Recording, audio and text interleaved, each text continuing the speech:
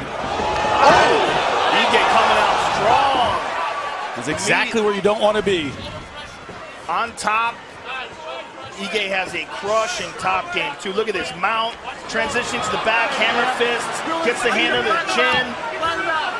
If he can get that all the way under, this might be done right now. He's really holding on to that hand. Strong control and power here by Ige. Just out of the gates. Oh, he's got that left arm under the chin. Oh, it's back his head. Keep it clean. Punishing left hand warning from Kevin MacDonald to avoid the back of the head.